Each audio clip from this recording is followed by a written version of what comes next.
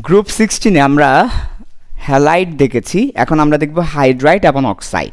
তো হাইড্রাইট গঠন উপকৃতি। হাইড্রাইট বলতে হাইড্রাইট বলতে হাইড্রোজেনের সাথে বিক্রিয়া, হাইড্রোজেনের সাথে বিক্রিয়া।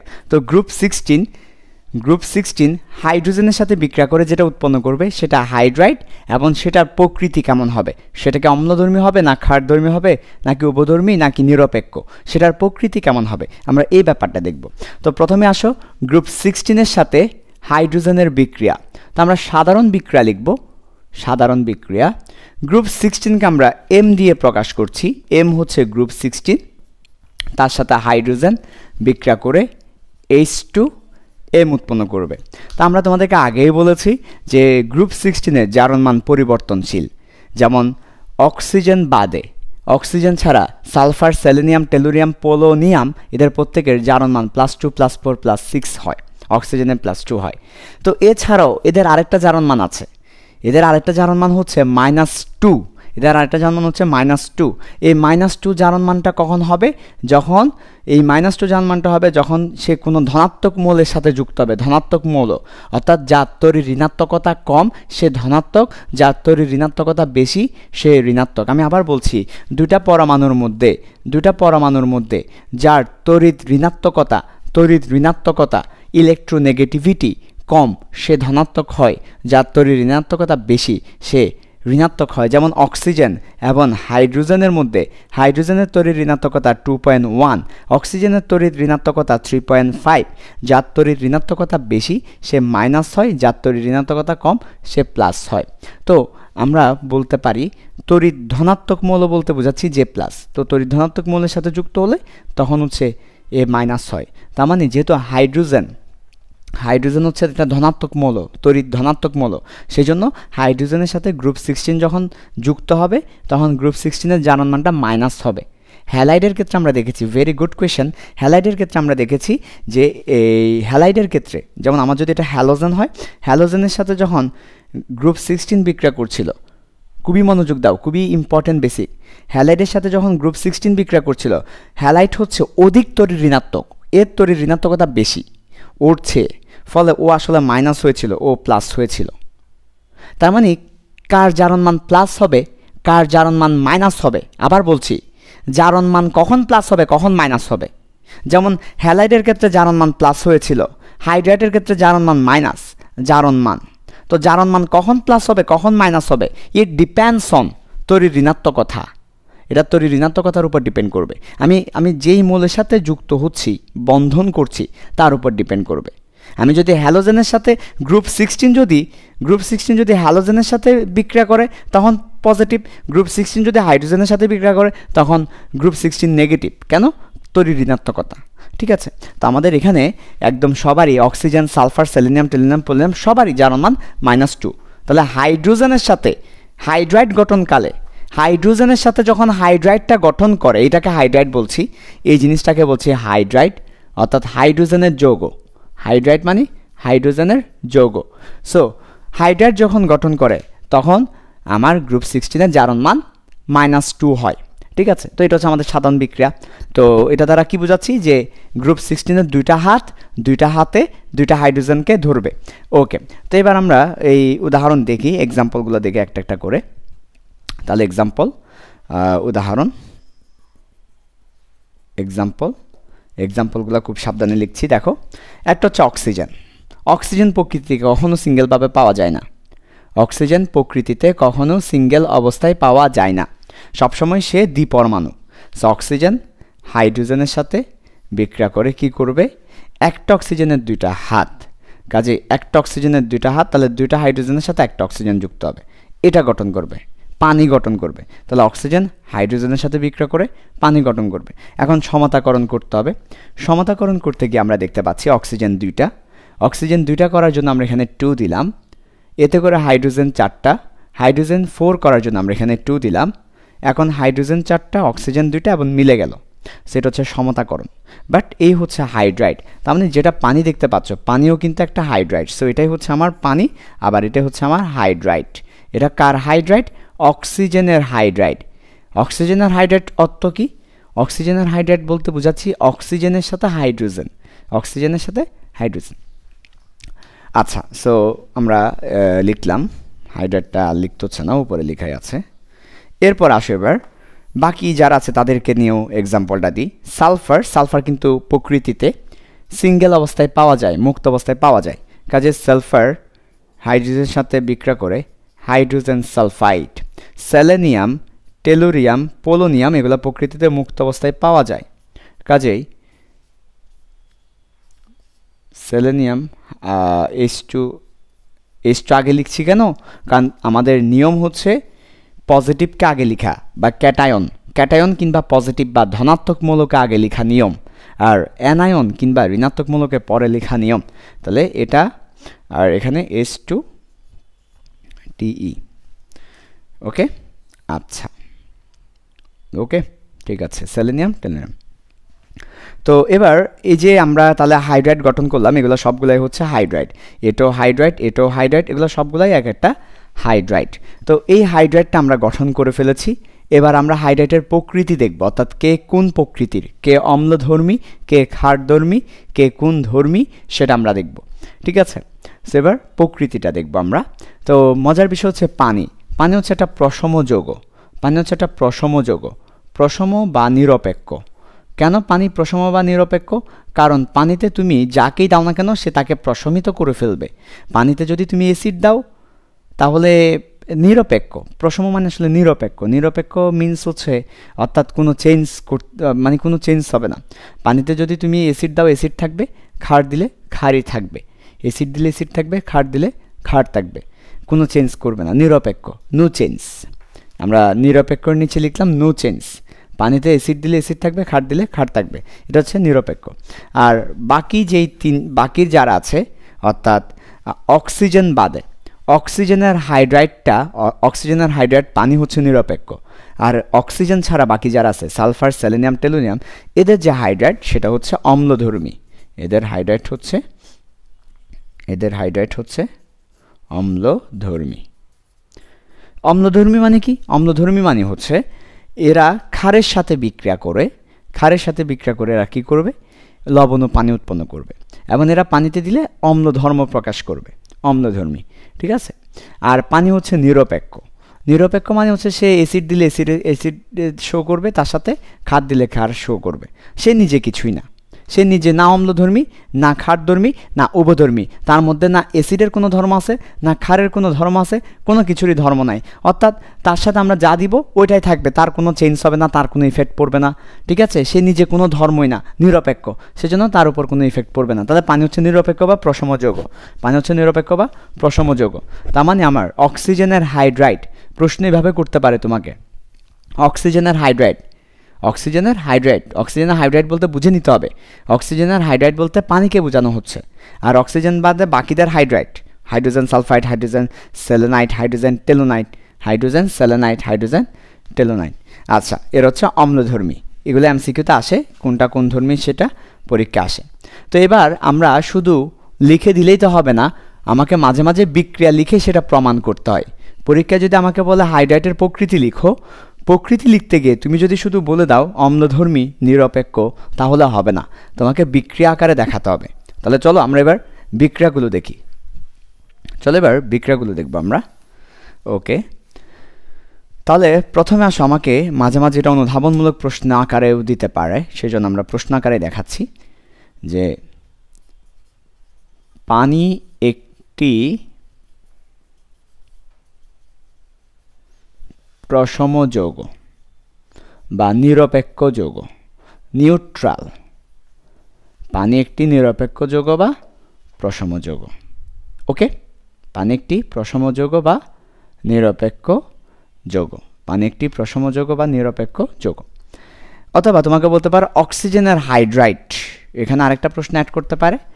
অক্সিজেনের হাইড্রাইট। অক্সিজেনের হাইড্রাইট। এটাও তোমাকে অ্যাড করতে পারে অক্সিজেনের হাইড্রাইট। ওকে, ঠিক আছে। তো চলো, আমরা এটা একটু ব্যাখ্যা করি। পরীক্ষা আসলে আমরা কী ব্যাখ্যাটা লিখব? যে পানি একটি নিরপেক্ষ যোগ, আমাকে ব্যাখ্যা করতে বললে। তখন আমি ব্যাখ্যা করব যে পানিতে যদি আমরা অ্যাসিড বা খার দিই, এতে এর কোনো চেঞ্জ হয় না। সেজন্য এটা একটা নিরপেক্ষ যোগ। এক নম্বর কথা বলব আমরা এটা, যে পানিতে অ্যাসিড বা খাদ দিলে এর কোনো পরিবর্তন হয় না।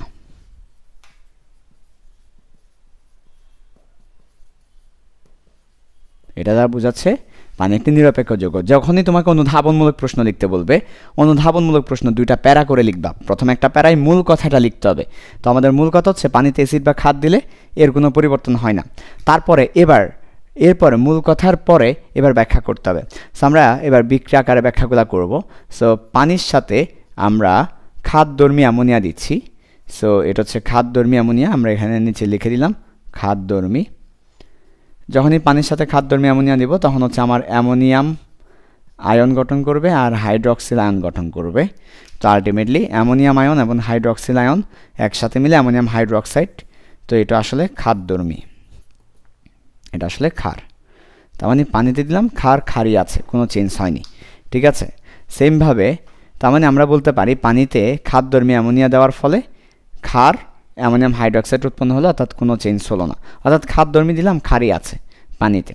তার মানে সে খাদ্যর্মিতার উপর কোনো ভূমিকা রাখে নাই। নিরপেক্ষ, সে নিজে নিরপেক্ষ। সে নিজে নিরপেক্ষ বলে সে কাউকে চেঞ্জ করবে না। ঠিক আছে? আবার আমরা আরেকটা বিক্রিয়া দেখতে পারি, পানির সাথে এইচ সিএল একটা অ্যাসিড দিলাম, অম্লধর্মী। অ্যাসিড বা অম্লধর্মী দিলাম। এইচ ও সিএল এইচ ও সিএল হবে। আর কি হবে? এইচ ও সিএল হবে? আর হচ্ছে হাইড্রোনিয়াম আয়ন হবে। হাইড্রোনিয়াম আয়ন হবে। ঠিক আছে? হাইড্রোনিয়াম আয়ন বেসিক্যালি আসলে এইচ প্লাস আর কিছু না, এখানে একটা এইচ প্লাস হবে। তো এটাকে আমরা হাইড্রোনিয়াম আয়ন আকারে দেখেছি। সমতাকরণ আমি করি নাই। সমতাকরণ তোমরা করে নিতে পারো। হাইড্রোনিয়াম আয়ন যখনই দেখবা, মনে রাখবে এটা হচ্ছে আসলে এইচ প্লাস অর্থাৎ এইচওসিএল এবং এইচ প্লাস হবে। তো এটাও কিন্তু অ্যাসিড কিন্তু। তার মানে অ্যাসিড দিয়েছি, তো অ্যাসিডে আছে। কোনো চেঞ্জ হয় নাই। তার মানে অর্থাৎ আমরা ব্যাপারটাকে বলতে পারি, যখন আমরা অ্যাসিডকে পানির মধ্যে দিব অ্যাসিডই থাকবে খারকে পানির মধ্যে দিলে খারি থাকবে, ফলে কোনো চেঞ্জ হবে না। সো এই দুইটা বিক্রিয়া আসলে সেটাই বোঝাচ্ছে খার পানির মধ্যে খারি আছে অ্যাসিড পানির মধ্যে অ্যাসিডই আছে। এরা লবণ হয়ে যায়নি, এরা অন্য কিছুতে চেঞ্জ হয়নি। লবণ হয়নি অন্য কিছু হয়নি, যেমন আছে তেমনই থাকবে।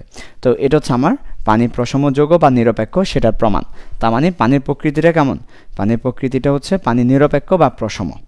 ওকে আচ্ছা এবার বাকি যারা আছে, পানি ছাড়া বাকি হাইড্রেট সালফারের হাইড্রেট স্যালেনিয়ামের হাইড্রেট টেলুরিয়ামের হাইড্রেট এদের হাইড্রেটগুলা অম্লধর্মী অম্লধর্মী অম্লধর্মী গ্রুপ সিক্সটিনের অক্সিজেন বাদে বাকিদের হাইড্রেট অম্লধর্মী গ্রুপ সিক্সটিনের হাইড্রাইট অম্লধর্মী, সেটা প্রমাণ করতে হবে। এবার আমরা অম্লধর্মীটার প্রমাণ দিব। তাহলে লিখো অক্সিজেন বাদে গ্রুপ সিক্সটিনের বাকি হাইড্রাইট অম্লধর্মী, সেটা একটা আমরা প্রমাণ করব।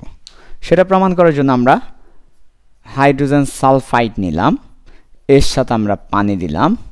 তাহলে এইচ টু এস থ্রি এটা কি বলতো? Sulphurous acid. এটা হচ্ছে সাল ফিউরিক না এসও ফোর হলে ফিউরিক হতো। এখন এটা ফিউরিক না এটা হচ্ছে ফিউরাস সালফিউরাস সালফিউরাস অ্যাসিড তার মানে সেমভাবে আমরা যদি এখানে এইচ টু এসি আর পানি দিই, তখন আমার স্যালেনিক অ্যাসিড হবে এসি ও থ্রি এটা হচ্ছে স্যালেনাস স্যালেনিক না স্যালেনাস অ্যাসিড তার মানে আমরা দেখতে পাচ্ছি, আমরা যখন বাকি হাইড্রেটগুলোকে পানিতে দিচ্ছি, তখন হচ্ছে অ্যাসিড ফর্ম করছে। তার মানে এগুলো কোন ধর্মী অম্লধর্মী নিশ্চয়ই যে এটা তো নিরপেক্ষ। তাহলে সে অ্যাসিড হলো কেমনে? নিশ্চয়ই ও অম্লধর্মী ছিল। কারণ নিরপেক্ষ তো ওর তো কোনো ভূমিকা নাই। নিরপেক্ষ মানে হচ্ছে ও একেবারে ওর কোনো ভূমিকা নাই, নো ভূমিকা। তার মানে নো ভূমিকা, ওর কোনো ভূমিকা নাই। তাহলে ও অ্যাসিড হলো কীভাবে? আমার বিক্রিয়ার পর অ্যাসিড উৎপন্ন হলো অ্যাসিডটা আসলো কোথায় থেকে? নিশ্চয়ই অম্লধর্মী কেউ ছিল। তাহলে ও নিরপেক্ষ, ও বাদ। তাহলে অম্লধর্মী ছিল বলেই তো অ্যাসিড আসছে। ও যদি খাদ ধর্মী হইতো, তাহলে তো খার আসতো। তাহলে আমাদের এরা অম্লধর্মী সেটা প্রমাণ হচ্ছে এটা। তো পরীক্ষা অম্লধর্মী প্রমাণ করতে বললে এই যে এদের সাথে পানির বিক্রিয়া দিয়ে অ্যাসিড দেখাবো, তাহলে এটা হচ্ছে আমার অম্লধর্মীটার প্রমাণ। আর পানি হচ্ছে নিরপেক্ষ। সে অ্যাসিডের সাথেও বিক্রিয়া করে, সে খারের সাথেও বিক্রিয়া করে অ্যাসিডের সাথেও বিক্রিয়া করে সে অ্যাসিডই থাকে খারের সাথে বিক্রিয়া করে সে ক্ষারই থাকে। ঠিক আছে? এমনি যদি অম্লধর্মী হয়, অম্লধর্মী হলে পানির সাথে বিক্রিয়া করে অ্যাসিড খারের সাথে বিক্রিয়া করে লবণ ও পানি উৎপন্ন করবে। কারণ একটা অ্যাসিড খারের সাথে বিক্রিয়া করে লবণ ও পানি উৎপন্ন করবে। কিন্তু পানি যে নিরপেক্ষ সে অ্যাসিডের সাথে বিক্রিয়া করলে অ্যাসিড খারের সাথে বিক্রিয়া করলে ক্ষার অর্থাৎ সে নিজের নিরপেক্ষ। ওকে সো এই অম্লধর্মীটা বোঝা গেল, তার মানে আমাদের মোরাল অফ দ্য স্টোরি কি? গ্রুপ সিক্সটিনের হাইড্রাইট অম্লধর্মী। গ্রুপ সিক্সটিনের হাইড্রাইট অম্লধর্মী। গ্রুপ সিক্সটিনের হাইড্রাইট অম্লধর্মী। শুধু কে? পানি বাদে। পানি কি? প্রসম তাহলে তোমরা এই যে লেকচারের মূল বিষয়টা কি, সেটা একটু নাও। মূল বিষয়টা হচ্ছে অক্সিজেনের হাইড্রাইট পানি নিরপেক্ষ। বাকিরা অম্লধর্মী। এবার একটা এক্সেপশন দেখাচ্ছি, একটা স্পেশাল কেস একটা স্পেশাল দেখাচ্ছি। স্পেশাল হচ্ছে অক্সিজেনের হাইড্রাইট কিন্তু দুইটা। অক্সিজেনের হাইড্রাইট দুইটা। এটা হচ্ছে স্পেশাল অক্সিজেনের হাইড্রাইট দুইটা। একটা তো তোমরা বলে দিয়েছ পানি। অক্সিজেনের আরও একটা হাইড্রাইট আছে, হাইড্রোজেন পার অক্সাইড যে যখন অক্সিজেনের জারণ মান মাইনাস ওয়ান হয়। অক্সিজেনের জারণ মান মাইনাস ওয়ান হলে তখন হাইড্রোজেন পার অক্সাইড হয়। এই হাইড্রোজেন পার অক্সাইড সেটাও কিন্তু একটা হাইড্রাইড। কিন্তু এই হাইড্রোজেন পার অক্সাইড কিন্তু অম্লধর্মী। তার মানে এটা অনেক সময় পরীক্ষা আসে, হাইড্রোজেন পার অক্সাইড কোন ধর্মী? হাইড্রোজেন পার অক্সাইড অম্লধর্মী। কিন্তু নর্মালি আমরা এটাকে অক্সিজেনের হাইড্রাইড বলি না। আমরা অক্সিজেনের হাইড্রাইড বলতে এটাকেই বুঝে নিই, পানিটাকেই বুঝে নিই, যেটা নিরপেক্ষ। তাহলে তোমাকে কখনো যদি বলে অক্সিজেনের হাইড্রাইড কোন ধর্মী? অক্সিজেনের হাইড্রাইড বললে স্পেসিফিকলি বলে নাই তোমাকে। জাস্ট বলল অক্সিজেনের হাইড্রাইট তখন তুমি পানি ধরে নিবা। অক্সিজেনের হাইড্রাইট বলতে আমরা পানিকেই বুঝাই এবং সেটা নিরপেক্ষ। কিন্তু তোমাকে যদি বলে দেয় হাইড্রোজেন পার অক্সাইড এটা হচ্ছে hydrogen peroxide hydrogen peroxide এই স্পেসিফিকলি এই যোগের কথা যদি বলে দেয়, তখন কিন্তু ভাই এই যোগটা অম্লধর্মী হবে। ঠিক আছে? এবং গ্রুপ সিক্সটিনের বাকি অক্সাইডগুলোও কি? অম্লধর্মী। ঠিক আছে? মাথায় থাকবে? ওকে বাকি হাইড্রাইট, অক্সাইড না সরি হাইড্রাইট। এরপর আসো তাহলে আমাদের হ্যালাইট শেষ, হাইড্রাইট শেষ। ও, হাইড্রাইট থেকে আরও একটা প্রশ্ন বাকি আছে, অনুধাবনমূলক প্রশ্ন বাকি আছে। তারপর আমরা অক্সাইডে যাব। আরেকটা প্রশ্ন বাকি আছে, সেটা করে তারপর আমরা অক্সাইডে যাব ওকে আচ্ছা তাহলে আমরা কি শিখলাম? আরেকবার রিভিউ করি বারবার বললে মাথায় গেঁথে যাবে। আমাদের মাথায় গেঁথে যেতে হবে জিনিসটা, যেন পরীক্ষার হলে দেখলেই, ও আচ্ছা এটা তো এটা, ও আচ্ছা এটা তো এটা, মাথায় গেঁথে যেতে হবে। সো আরেকবার বলে ফেলি আমরা group sixteen oxygen sulphur selenium tellurium polonium oxygen sulphur selenium tellurium tellurium tellurium polonium polonium এখানে অক্সিজেনের হাইড্রাইট নর্মাল অক্সিজেনের হাইড্রাইট হচ্ছে পানি, যেটা নিরপেক্ষ। এছাড়াও হাইড্রোজেন পার অক্সাইড যেটা অম্লধর্মী। তারপর বাকিদের হাইড্রাইট হচ্ছে অম্লধর্মী। ওকে, এবার এখানে একটা প্রশ্ন আসে। সেটা হচ্ছে, অক্সিজেনের হাইড্রাইট হচ্ছে পানি। তো পানি তরল, কিন্তু সালফারের হাইড্রাইট হচ্ছে হাইড্রোজেন সালফাইড। সেটা কিন্তু গ্যাস এবং বাকিরাও গ্যাস। তো ব্যাখ্যা হচ্ছে, কেন পানি তরল, কেন হাইড্রোজেন সালফাইড গ্যাস? এরা অনেক সময় ব্যাখ্যা করতে বলে অনুধাবনমূলক প্রশ্নে। যে কেন অক্সিজেনের হাইড্রাইট তরল কিন্তু সালফারের হাইড্রাইট গ্যাস কেন? বা পানি তরল হাইড্রোজেন সালফাইড গ্যাস কেন? এটা অনেক সময় আমাকে ব্যাখ্যা করতে বলে। সো ব্যাখ্যাটা কী হবে? ব্যাখ্যাটা হবে, দেখো পরীক্ষা ব্যাখ্যাটা কীভাবে লিখব? দুই প্যারা করে লিখব। প্রথম প্যারায় কী লিখব, দেখো?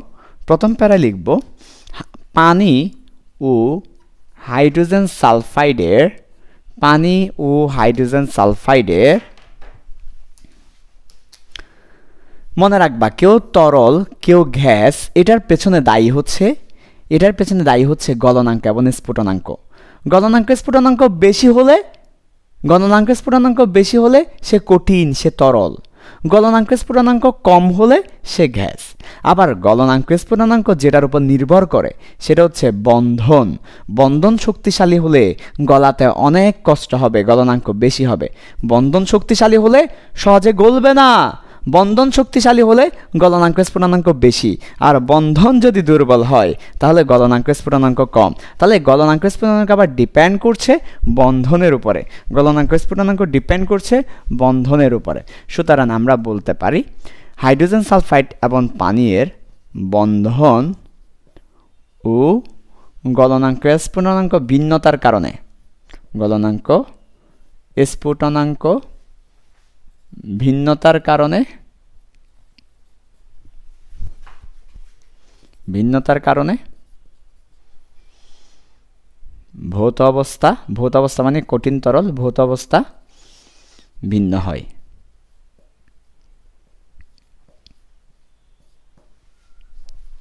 তাহলে পানি ও হাইড্রোজেন সালফাইডের বন্ধন ও গলনাঙ্ক, স্ফুটনাঙ্ক ভিন্নতার কারণে ভৌত অবস্থা কী হয়? ভৌত অবস্থা ভিন্ন হয়। আচ্ছা। এটা হচ্ছে আমাদের প্রথম প্যারাই মূল কথা। একটা হচ্ছে আমাদের বন্ধনের কারণে গলনাঙ্ক, স্ফুটনাঙ্ক এবং গলনাঙ্ক, স্ফুটনাঙ্কের কারণে কিন্তু কেউ তরল, কেউ গ্যাস হয়। তো মূল কথা হচ্ছে এটাই। যখনই তোমাকে তরল, গ্যাস সব নিয়ে কথা বলতে বলবে, বন্ধনের মধ্যে চলে যাবা, গলনাঙ্ক, স্ফুটনাঙ্কের মধ্যে চলে যাবা।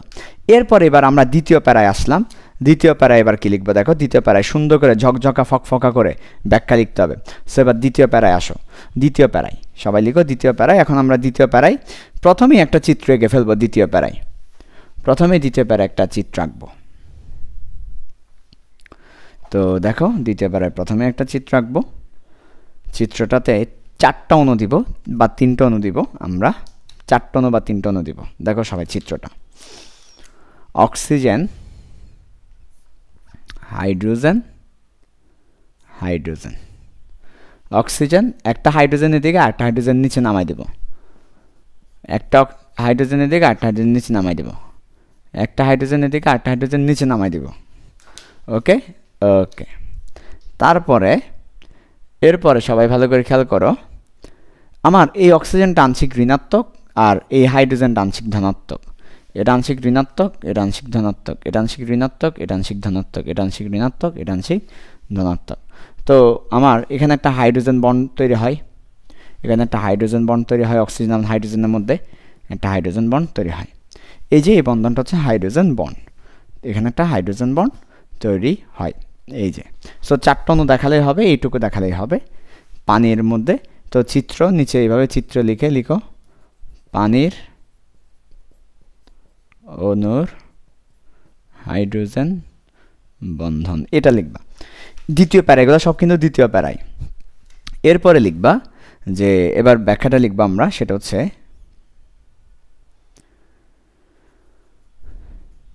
পানির অণুতে অক্সিজেন ও হাইড্রোজেন পরমাণুর তৈরির ঋণাত্মকতার পার্থক্য। এই যে কেউ আংশিক প্লাস কেউ আংশিক মাইনাস কেন হয়? তৈরির ঋণাত্মকতার পার্থক্যের কারণে। তো ঋণাত্মকার পার্থক্য বেশি হওয়ায় পোলারিটি সৃষ্টি হয়। কি সৃষ্টি হয়? পোলারিটি সৃষ্টি হয়। তাহলে পানির অণুতে অক্সিজেন ও হাইড্রোজেন পরমাণুর তৈরি ঋণাত্মকতার পার্থক্য বেশি হওয়ায় পোলারিটি সৃষ্টি হয়।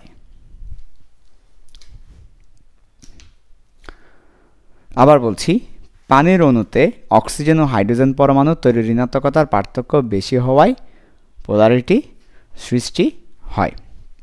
ওকে। এরপরে ফলে একটি পানির অণু একটি পানির অণু। তার পাশের পানির অণুর সাথে আন্ত আণবিক হাইড্রোজেন বন্ধন করে। এতে গলনাঙ্ক গলনাঙ্ক, সাথে সাথে স্ফুটনাঙ্ক চলে আসবে। গলনাঙ্ক, স্ফুটনাঙ্ক বেশি হয়। তাহলে এটা হচ্ছে আমার পানির জন্য। এবার আমরা হাইড্রোজেন সালফাইডের জন্য বলব। হাইড্রোজেন সালফাইডে সালফার এবং হাইড্রোজেনের তৈরি ঋণাত্মকতা কম। ফলে পোলারিটি সৃষ্টি হয় না, ফলে হাইড্রোজেন বন্ধন হয় না, তাই গলনাঙ্ক, স্ফুটনাঙ্ক কম। তাই আমাদের পানি তরল, হাইড্রোজেন সালফাইড গ্যাস। তার মানে সেম কথাটা এবার কার জন্য বলব? হাইড্রোজেন সালফাইডের জন্য বলব। লিখে নাও। এরপর সেম কথাটা হাইড্রোজেন সালফাইডের জন্য বলব। ওকে তাহলে এবার সেম কথাটা হাইড্রোজেন সালফাইডের জন্য বলব, তবে হাইড্রোজেন সালফাইডের জন্য কোনো চিত্র আঁকতে হবে না, কারণ ওইখানে তো কোনো হাইড্রোজেন বন্ধন নাই দেখানোর মতো। ফলে কোনো চিত্র আঁকতে হবে না। তাহলে হাইড্রোজেন সালফাইড অণুতে সালফার ও হাইড্রোজেনের তৈরি ঋণাত্মকতা